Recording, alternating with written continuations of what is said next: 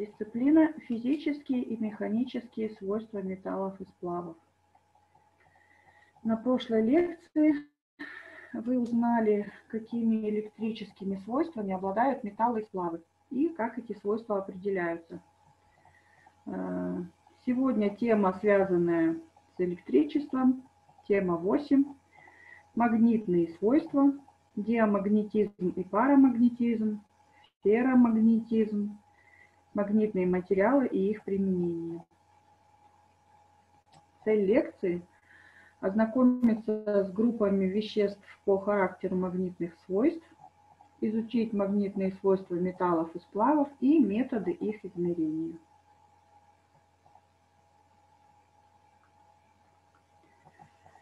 План лекции. Первый вопрос. Магнитные материалы. Второй вопрос. Общие сведения о магнитных свойствах. И третий вопрос. Методы измерения магнитных свойств.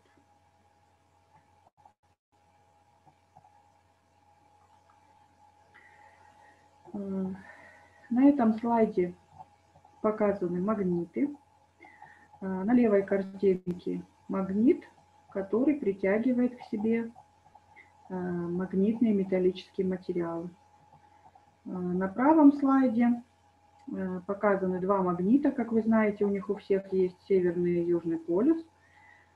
И эти два магнита Э, повернутые друг к другу противоположными полюсами, которые притягиваются друг к другу.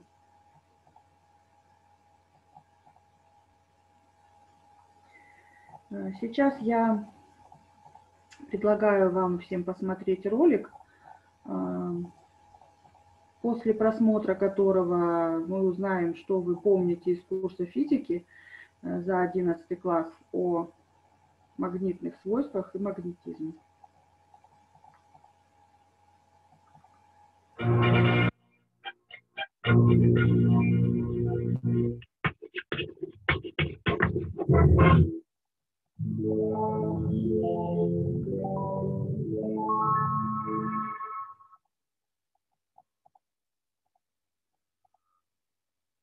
Царица Клеопатра, которую до сих пор считают красивейшей женщиной в истории мира, носила украшение из магнитного камня, сила которого, как думали в те времена, могла отсрочить старение. Эта же сила помогает птицам в поиске своего дома при перелетах на большие расстояния. На уроке мы узнаем магнитные свойства вещества, научные факты, опыты и доказательства теории ферромагнетизма научимся давать определение понятий ферромагнетик, домен, распознавать типы веществ по магнитным свойствам и называть свойства диа, пара и ферромагнетиков. Объяснять принцип действия электроизмерительных приборов, громкоговорителя и электродвигателя. Все вещества в окружающей нас природе в той или иной мере обладают магнитными свойствами. Еще с глубокой древности была известна способность некоторых минералов притягивать железные предметы. Среди многих навигационных приборов, необходимых для прокладывания курса кораблей или самолетов, обязательно должен быть и магнитный компас. Во многих измерительных приборах основными деталями служат постоянные магниты. Что же происходит с веществом, помещенным в магнитное поле? Вспомним, что магнитные свойства катушки, по которой течет ток, усиливаются, если в катушку вставлен железный сердечник. Мы знаем, что вокруг катушки с электрическим током возникает магнитное поле. Магнитную индукцию этого поля обозначим B нулевое. Железный сердечник тоже создает свое магнитное поле. Магнитную индукцию поля в веществе обозначим B при внесении железного сердечника появляется магнитная индукция поля, возникающая благодаря намагничиванию вещества B1. Эти поля складываются по принципу суперпозиции полей. В итоге мы наблюдаем, что вещество может усилить или, возможно, ослабить магнитное поле. Магнитной проницаемостью вещества называется физическая скалярная величина, показывающая, во сколько раз индукция магнитного поля в данном веществе отличается от индукции магнитного поля в вакууме. Английский физик Майкл Фарадей исследовал влияние вещества на магнитное поле. Он определил, что все вещества, помещенные в магнитное поле, ослабляют или усиливают его. То есть вещество само становится источником магнитного поля. Это явление называют намагничиванием. Все вещества по действию на них внешнего магнитного поля делятся на три группы – диа, пара и ферромагнетики. Диамагнетики – вещества, у которых магнитная проницаемость чуть меньше единицы. К таким веществам относятся серебро, золото, медь, висмут. Магнитная проницаемость висмута равна 0,9998 тысячных. Значит, магнитное поле ослабляется, когда в него помещают это вещество. Это означает, что вектор магнитной индукции поля, создаваемого веществом B', направлен противоположно вектору магнитной индукции внешнего поля B нулевое. Парамагнетики – вещества, у которых магнитная проницаемость больше единицы. Это вольфрам, щелочные металлы, алюминий, литий, платина. Магнитная проницаемость платины 1,265 миллионных. Эти вещества намагничиваются очень слабо, причем вектор магнитной индукции поля, создаваемого веществом, направлен в ту же сторону, что и вектор магнитной индукции внешнего поля. Ферромагнетики – это вещества, у которых магнитная проницаемость во много раз больше единицы. Это такие вещества, как железо, кобальт,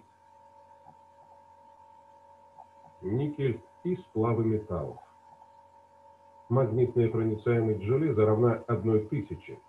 Выясним, почему вещества так меняют магнитные поля.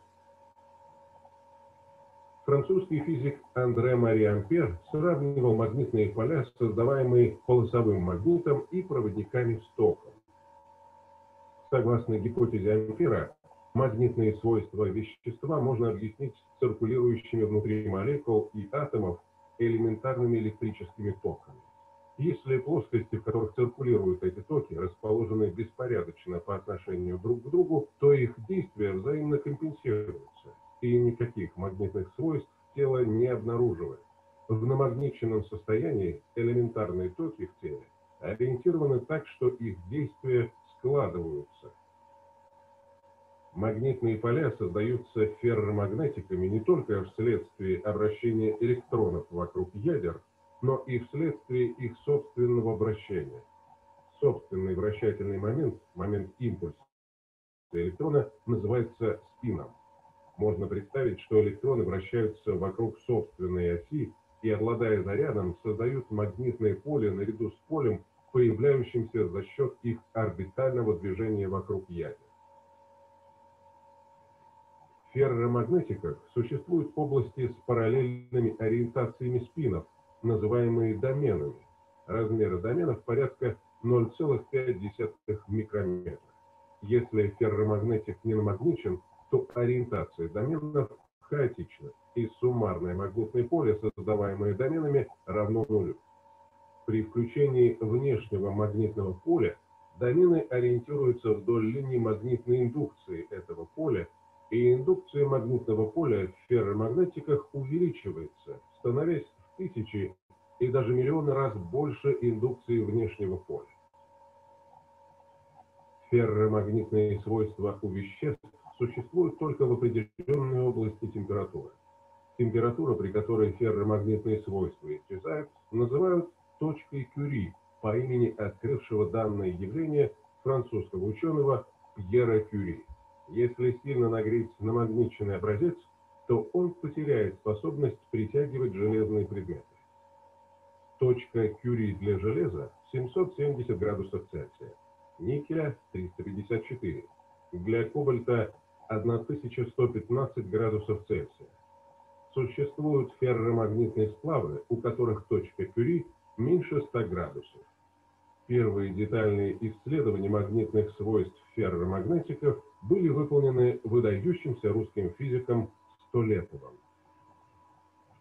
Вспомним, что железный или стальной сердечник в катушке во много раз усиливает создаваемое ею магнитное поле, не увеличивая силу тока в катушке. Это экономит электроэнергию. Сердечники трансформаторов, генераторов, электродвигателей и так далее изготавливают из ферромагнетиков. При включении внешнего магнитного поля ферромагнетик остается намагниченным, то есть создает магнитное поле в окружающем пространстве. Это объясняется тем, что домены не возвращаются в прежнее положение, и их ориентация частично сохраняется. Благодаря этому существуют постоянные магниты. Постоянные магниты широко применяются в электроизмерительных приборах, громкоговорителях и телефонах, звукозаписывающих аппаратах, магнитных компасах и так далее. Работа электроизмерительных приборов основана на магнитоэлектрическом эффекте. Между полюсами дугообразного магнита находится рамка, удерживаемая в положении равновесия пружины. К рамке прикреплена стрелка, движущаяся по шкале. При протекании через этот прибор электрического тока рамка под действием силы ампера поворачивается и вызывает отклонение стрелки. При выключении тока пружина возвращает стрелку к нулевой отметке шкалы. Большое применение получили ферромагнитные материалы, не проводящие электрического тока, ферриты. Это химические соединения оксидов железа с оксидами других веществ. К их числу относится и магнитный железняк. Из ферромагнетиков изготавливают магнитные ленты и тонкие магнитные пленки.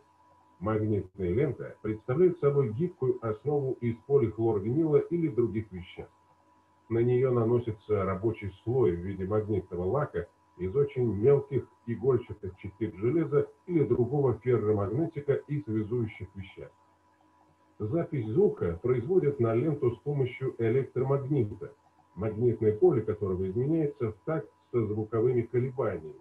При движении ленты вблизи магнитной головки различные участки пленки намагничиваются. При воспроизведении звука наблюдается обратный процесс. Намагниченная лента возбуждает в магнитной головке электрические сигналы, которые после усиления поступают на динамик магнитофона.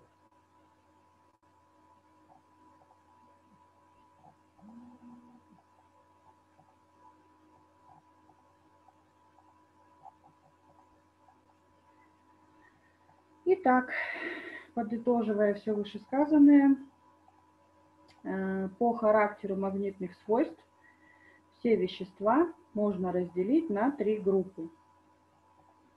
Это ферромагнетики, парамагнетики и диамагнетики. Ферромагнитные – это такие вещества, которые сильно притягиваются к магниту. К ним принадлежат железо, сталь, чугун, никель, кобальт, редкоземельный элемент гадолиний и некоторые сплавы. У этих веществ относительная магнитная проницаемость имеет величину от нескольких сотен до нескольких десятков тысяч. Например, для кобальта это величина 150, у никеля 300, у железа до 500, Э, у сплава стали с никелем пермалоя до 100 тысяч. Следующая группа – это парамагнитные вещества. Это такие вещества, которые слабо притягиваются к магниту. Э, к ним относятся алюминий, магний, олово, платина. Э, у них относительная магнитная проницаемость немного больше, чем единица. И третья группа – диамагнитные вещества, диамагнетики. Это такие вещества, которые слабо отталкиваются от магнита. К таким веществам принадлежат цинк, ртуть, свинец, сера, медь, серебро, хлор. У них магнитная проницаемость немного меньше единицы. Ну, например, для меди эта величина равна 0,999 тысяч 995 миллионных, то есть около единицы.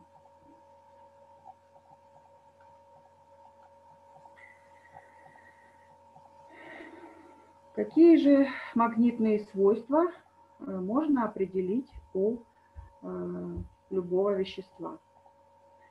Э, для начала можем вспомнить, что намагниченный стержень имеет два полюса – северный и южный. И возникновение двух полюсов называется магнитной поляризацией. Если представить себе, что на одном конце намагниченного стержня сосредоточен весь северный магнетизм, а на другом южный, то Обозначая магнитный заряд в каждом полюсе данного магнита буквочкой М и расстояние между ними L, получим произведение, которое будет называться магнитным моментом магнита. Обозначается буквой P и представляет из себя произведение M на L.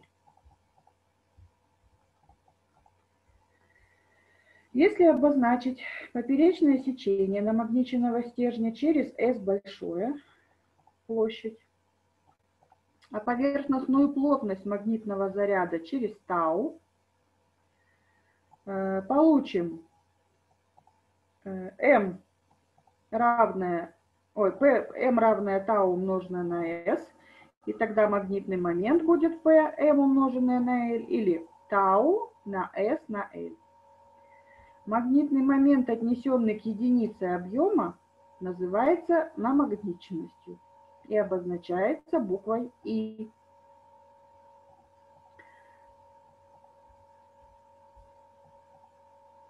Из формулы можно посчитать И. Э, она определится как отношение P к произведению S на L. И будет равно тау. То есть отсюда следует, что намагниченность равна поверхностной плотности магнитного заряда на концах стержня. Величина намагниченности измеряется в амперах на метр.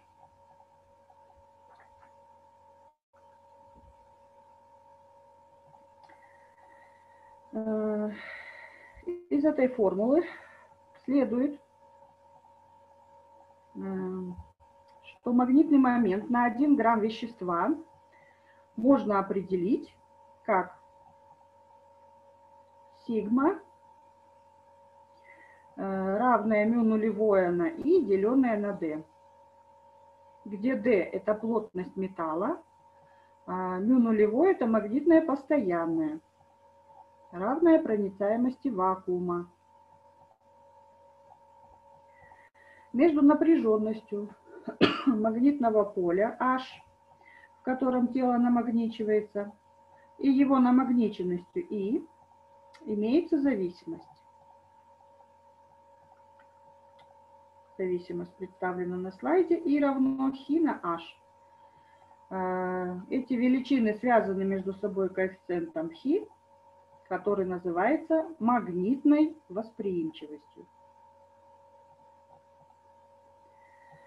между восприимчивостями одного моля хи с индексом А, одного килограмма хи с индексом Г и одного кубического метра, обозначаемый просто индексом хи, существует следующая связь, э, представленная на слайде две формулы.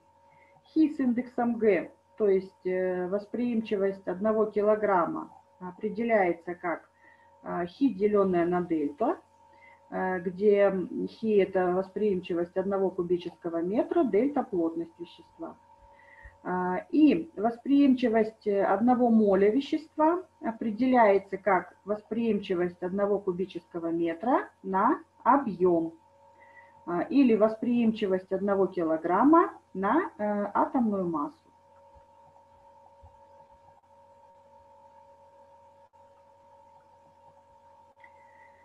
Э, металлические элементы по их магнетизму можно разбить на два больших класса.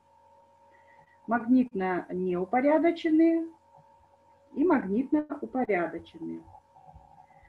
Первый класс распространяется на диамагнитные и парамагнитные металлы.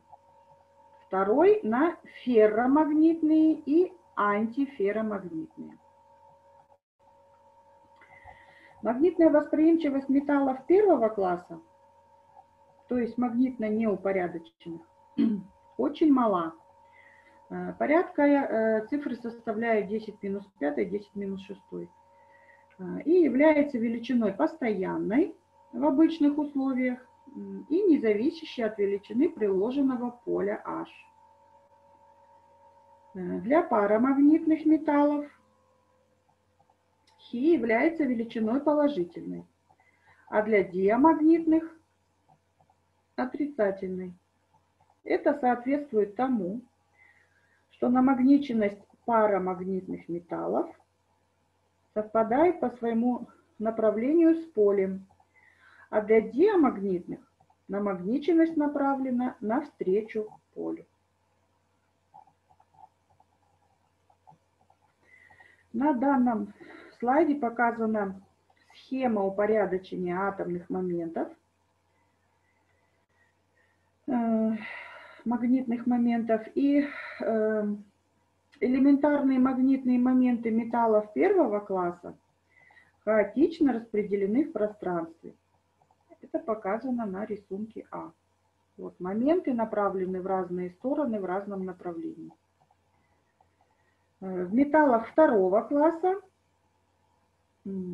магнитные моменты расположены упорядоченно, поэтому они называются магнитно упорядоченные. Это рисунки Б и В.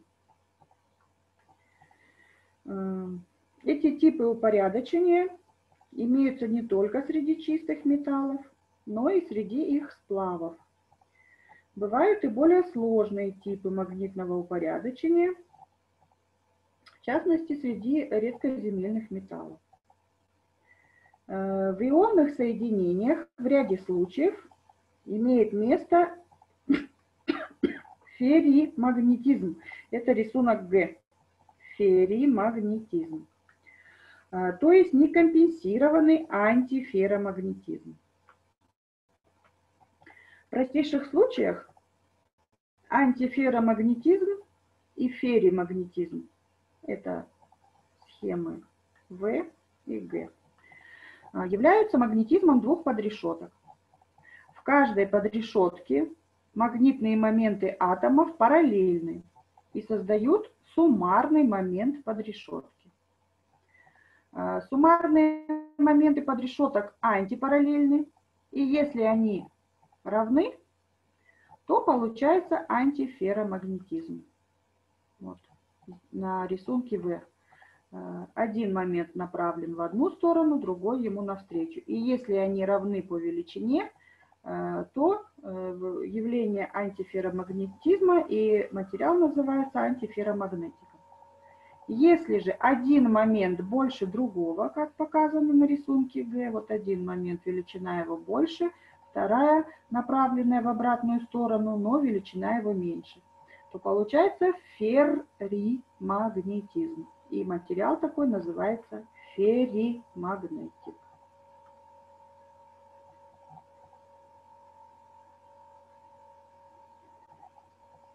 Какими же методами можно измерять магнитные свойства?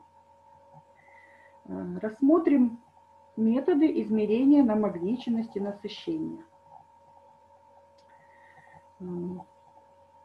Фазовые превращения, происходящие в сплавах, сопровождаются изменением магнитных свойств, магнитной восприимчивости в парамагнитных или диамагнитных сплавах намагниченности насыщения и коэрцитивной силы в ферромагнитных. Что такое коэрцитивная сила, я вам напомню, это значение напряженности магнитного поля, необходимое для полного размагничивания ферра или феррии магнитного вещества. Единица измерения в системе Си – ампер на метр деленный. Э, так э, вот, фазовый состав ферромагнитных сплавов на основе железа, никеля, кобальта или редкоземельных металлов и кинетику превращений в них характеризует намагниченностью насыщения и коэрцитивной силой. Изменение магнитных свойств в зависимости от состава подчиняется известным закономерностям Курнакова, которые нашли отражение в диаграммах состав свойства. Однако эти закономерности полностью не соблюдаются в сплавах, в составе которых имеются металлы переходных групп, из-за происходящего в них перераспределения свободных электронов, переходящих на незаполненные уровни атомов переходных металлов. Э, что же такое намагниченность насыщения? У чистых металлов это э, постоянная величина, она не изменяется в процессе пластической деформации или термической обработки. Э, но в процессе нагрева намагниченность металлов постепенно уменьшается и при достижении точки Кюри становится равной нулю. В процессе последующего охлаждения от точки Кюри намагниченность возрастает. Причем при каждой температуре ее значение постоянны и не зависят от процесса нагрева или охлаждения. Э, намагниченность насыщения однофазных сплавов определяется их составом, э, а гетерогенных – составом и количеством ферромагнитной фазы но она не зависит от дисперсности присутствующих фаз, уровня макро- и микронапряжений, изменений плотности дислокаций. Таким образом, намагниченность насыщения не является структурно чувствительным свойством. Если в процессе фазовых превращений изменяются только количество и структура ферромагнитной фазы, то измерение намагниченности насыщения сплава позволяет с высокой точностью определить количество этой фазы. Если же в сплаве присутствует несколько ферромагнитных фаз, например, альфа-фаза и дельта-фаза, дельтаферит, э, наряду с парамагнитным аустенитом в полуферритных нержавеющих сталях, то определить точное количество каждой из этих ферромагнитных фаз по намагниченности насыщения сплава при 20 градусах Цельсия затруднительно. Э, расчет количества присутствующей в сплаве с гетерогенной структурой ферромагнитной фазы э, также сильно усложняется, если в процессе изучаемых фазовых превращений изменяется состав этой фазы. Состав ферромагнитной фазы, независимо от ее количества, характеризует только температура Кюри, определение которой используют в частности для построения диаграмм состояния. Тогда расчет количества ферромагнитной фазы может быть выполнен только в случае, если для каждого ее состава известна намагниченность насыщения. Поэтому, например, э, точное определение количества остаточного аустенита э, или, соответственно, мартенсита в закаленной стали может быть выполнено, если в качестве эталона будет принят образец, э, в который будет 100% мартенсита того же состава, что и в первом случае, то есть с такой же намагниченностью насыщения. При изучении углеродистых и низколегированных сталей это условие легко выполняется, если изучаемый образец и эталон закаливают одновременно и в одинаковых условиях. А затем эталон немедленно охлаждают до низких температур. около минус 70 градусов Цельсия. А, такое охлаждение эталона превращает почти весь остаточный аустенит в мартенсит. И в этом случае количество аустенита, это вот буква А, определяется по формуле, приведенной на слайде. 4π и эталона минус 4π n образца, деленное на 4π n эталона, деленное на 100. Таким образом определяется количество фазы, а именно аустенитной фазы. При составлении расчета принимается, что фазы распределены равномерно по объему или хотя бы по сечению. Определение количества остаточного аустенита усложняется для высоколегированной или углеродистой заэффектоидных сталей, нагревающихся при закалке до высоких температур. Охлаждение эталона даже до очень низких температур сохраняет значительное количество остаточного аустенита. Часто количество остаточного аустенита рассчитывают по указанному соотношению, выбирая в качестве эталона сталь того же состава, как и исследуемый образец, но после отжига или отпуска. В этом случае эталон значительно отличается по структуре от исследуемого образца и подобный расчет менее точен, а для ряда сталей дает э, существенную ошибку. Э, концентрации альфа-твердого раствора в таком эталоне и в образце различны. Э, следовательно, не одинаковы намагниченности насыщения выбранного эталона и образца. Кроме того, они содержат разное количество карбидов, Присутствие третьей фазы в неодинаковых количествах с эталоном искажает результаты расчета. Намагниченность насыщения определяют чаще всего баллистическим методом. А, схему баллистической установки, установки я вам сейчас покажу. Вот она. А, схема для определения намагниченности насыщения. Как она работает? Э, в межполюсном или полюсном пространстве электромагнита. Электромагнит обозначен буквами ЭМ. Э, создают магнитное поле напряженностью более 4 на 10 в пятой степени ампер на метр. Достаточное для того, чтобы испытуемый образец, обычно круглого или квадратного сечения, вот он образец, это его начальное положение, это дальше. Э, при помещении в это поле намагнитился до насыщения.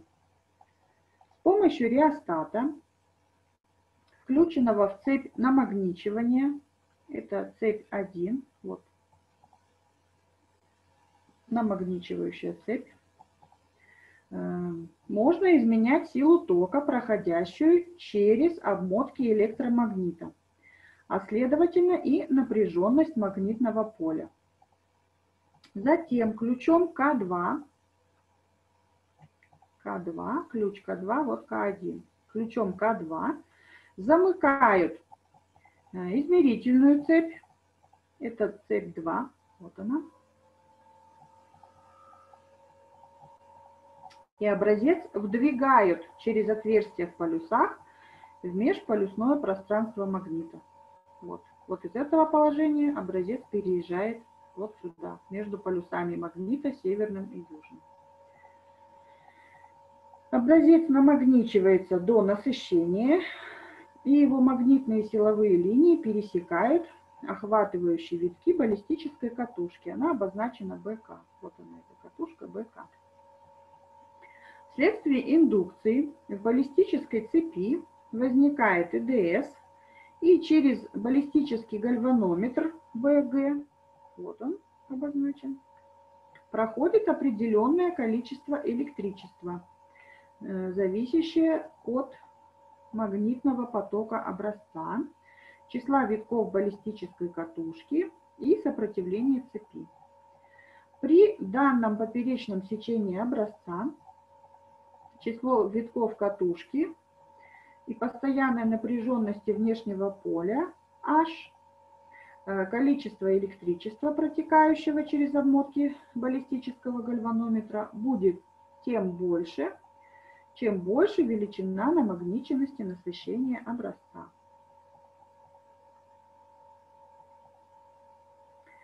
Баллистический гальванометр э, снабжен зеркальцем, угол поворота которого пропорционален количеству протекающего электричества.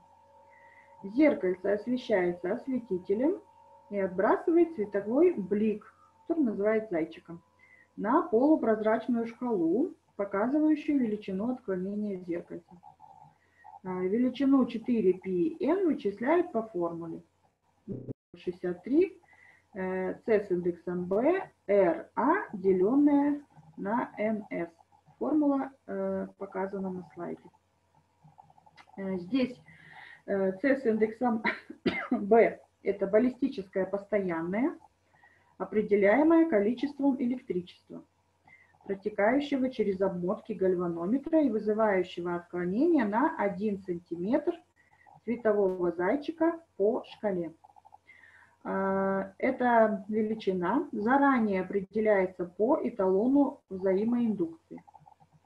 R – это сопротивление баллистической цепи в омах, слагающееся из сопротивления катушки баллистической, э, сопротивления магазина и внутреннего сопротивления гальванометра. Альфа – это величина отклонения зайчика по шкале в сантиметрах. S – это площадь поперечного сечения образца в квадратных сантиметрах. И n – это число витков баллистической катушки. Вот они все здесь расписаны, эти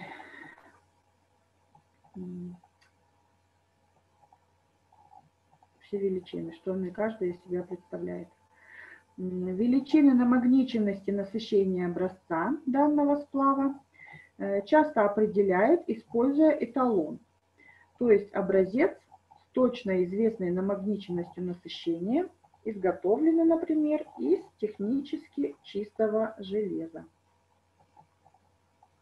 Во многих экспериментальных исследованиях, например, изотермического или непрерывного превращения переохлажденного аустенита, или низкотемпературного охлаждения закаленной стали. Для определения точки Кюри различных сплавов нужно определять изменения намагниченности насыщения или э, свойства пропорционального ей при нагреве и охлаждении. Наиболее удобным для подобных измерений является специальный прибор анизометра Кулова. Он обладает высокой чувствительностью и позволяет непрерывно записывать изменения э, свойств сплава, происходящие в процессе фазовых превращений. Э, схема э, анизометра, принципиальная схема показана на рисунке А. Она состоит из 1 это образец, 2 это тензометр, 3 это зеркало, 4 это линза, 5 а, это электромагнит. Вот он, магнит. О это осветитель. 1 и 2 это начало и конец процесса. И на рисунке Б показана схема самой установки. Э, она из чего состоит? Один это электромагнит. Вот, вот он, магнит. Э, два это образец. Вот он здесь помещен. 3 – это тензометр.